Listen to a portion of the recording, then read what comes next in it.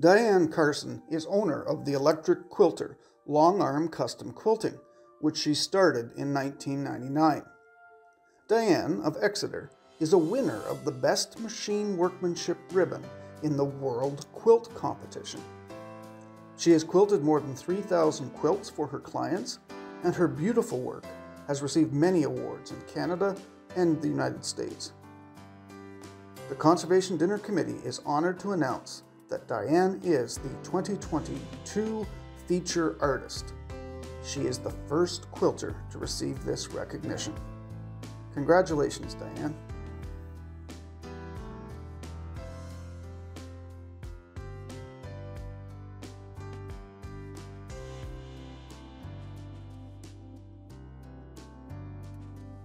I sewed it together, a technique called paper piecing, and it took, you know, a month before I got the top done.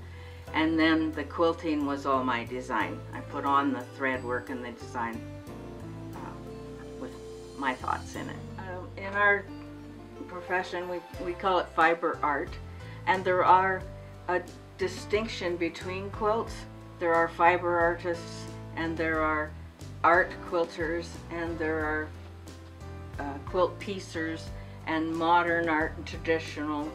My husband helps uh, lug quilts if I go to do a trunk show or set up quilts sometimes at a quilt show. He'll come and help take down and he's quite supportive.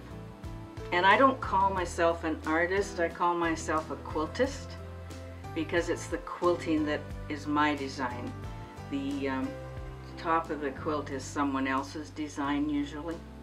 I have a topper and that's a person that puts the quilts together and we call them toppers and I work with one in particular Ann Bowden and when we uh, find a beautiful quilt we enter it in shows and together we've won several in, at Quilt Canada this year that will be in Vancouver. It's been in Ottawa and London and Halifax. And my motto, respect the piecing, means I go along this piecing and make sure it's all tacked down rather than um, doing a design over it all and and not highlighting the the piecer's work.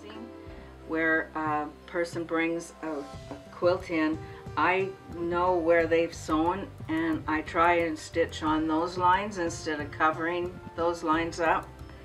And the person I work with, Anne, um, makes a lot of very intricate quilts with pieces as small as half inch.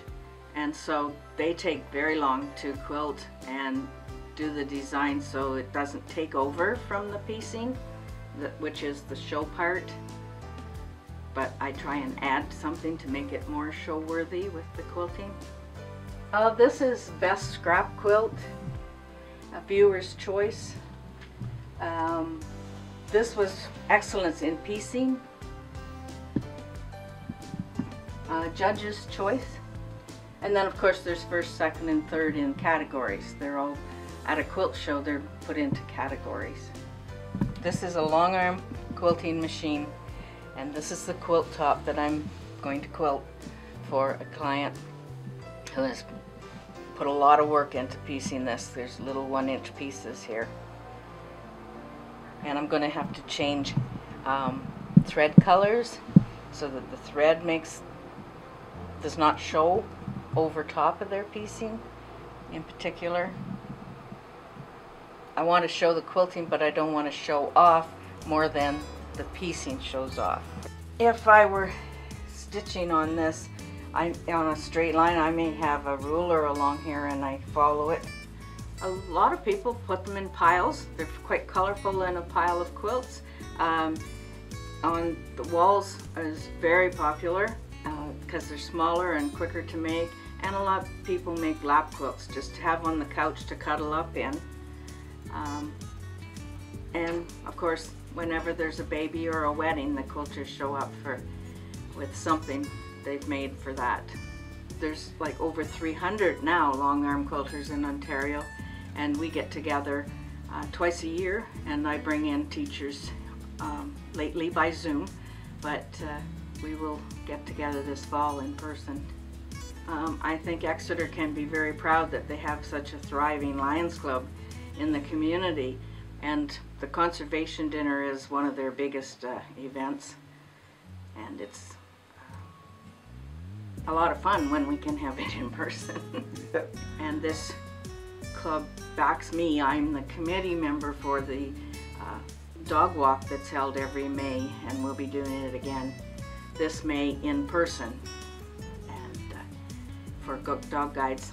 But I enjoy seeing what people bring in and then seeing their happy faces when they go home with it quilted.